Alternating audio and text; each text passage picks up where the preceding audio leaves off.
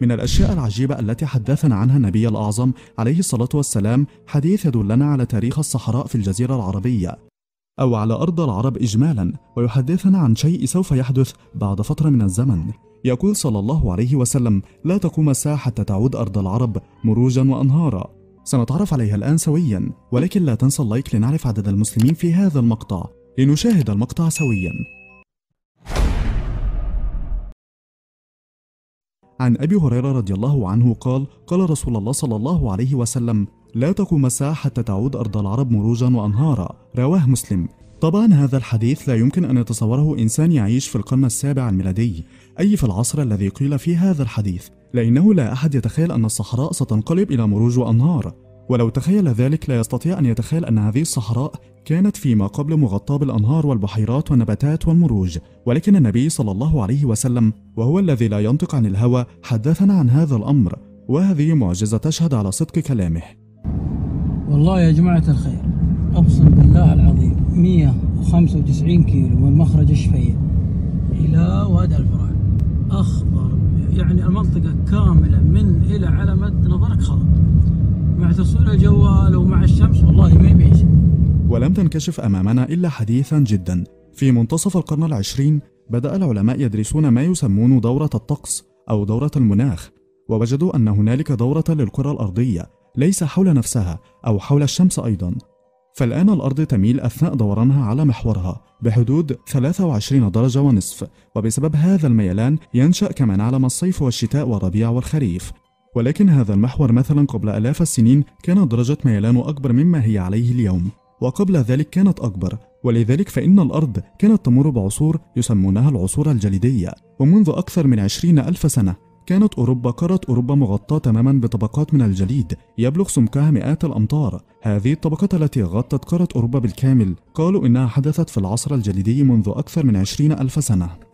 لا تقوم الساعة حتى تعود جزيرة العرب.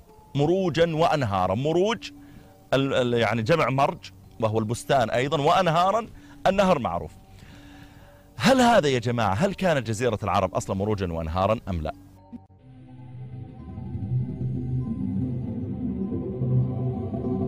بدأ علماء وكالة ناسا في رحلتهم حول كوكب الأرض باستكشاف المناطق الأثرية والمناطق التي تحتوي الثورات الطبيعية مثل الغاز والبترول. وأخيرا قالوا لماذا لا نبحث في صحراء الربع الخالي؟ وهي صحراء تمتد آلاف الكيلومترات. وهي خالية تماما يعني لا تكاد تجد فيها إنسان ولا بشر. ويستحيل على عقل إنسان أن يصدق أن هذه المنطقة كانت ذات يوم مغطاة بالأنهار والمروج. وبعد استخدام تقنيات المسح عن بعد وجد العلماء آثارا لغابات كثيفة ومروج تمتد لآلاف الأمتار. ويقول العالم الذي أشرف على هذا الاكتشاف قال بالحرف الواحد إن هذه المنطقة كانت ذات يوم مغطاة بالأنهار والبحيرات العذبة والنباتات والمروج وأن هذه المنطقة كانت في ذلك اليوم أي في الماضي أشبه بأوروبا اليوم يعني كانت تماما تشبه أوروبا في أنهارها ومروجها وأشجارها. ومن الأشياء العجيبة التي حدثنا عنها النبي الأعظم عليه الصلاة والسلام حديث يؤكد أو يدلنا على تاريخ الصحراء في الجزيرة العربية أو على أرض العرب إجمالا ويحدثنا عن شيء يقول صلى الله عليه وسلم لا تقوم الساعة حتى تعود أرض العرب مروجا وأنهارا. إن منطقة الربع الخالي تشكلت قبل حوالي مليوني سنة ولكن هذه الصحراء لا تبقى على حالها بل تتبع نظاما جيولوجيا مدهشا حيث نلاحظ أن الأنهار والغابات تغطي هذه المنطقة كل فترة من الزمن.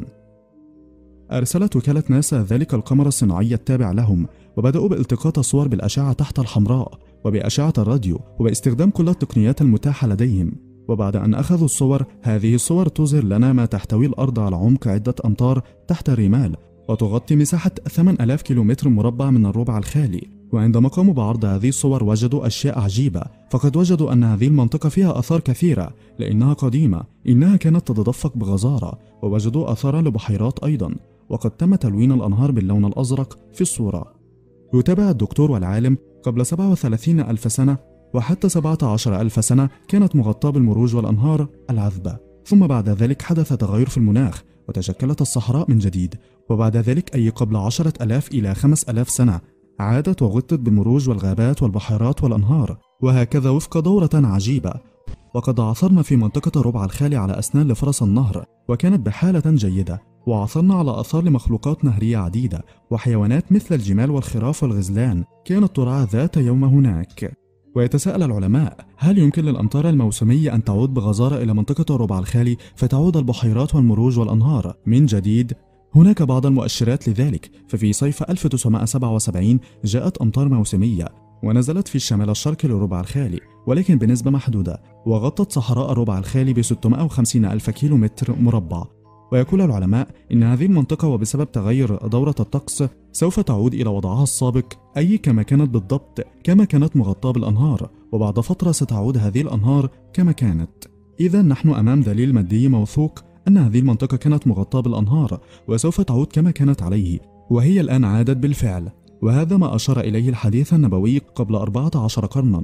لا تقوم الساعة حتى تعود أرض العرب مروجا وأنهارا. والعجيب أن النبي صلى الله عليه وسلم لم يقل حتى تأتي المروج والأنهار. لا بل قال حتى تعود. لماذا؟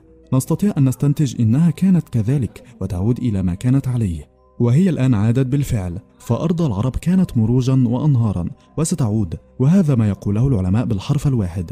وصوروا وأكدوا بأجهزتهم. ولذلك نحن اليوم أمام حقيقة يقينية لا يمكن لأحد أن ينكرها أو يشكك في صدقها بل يقولون إن ما يميز صحراء الربع الخالي قبل عدة ألاف من السنين إنها كانت مغطاة بالأعشاب والمروج بشكل جذب الكثير من الحيوانات إليها.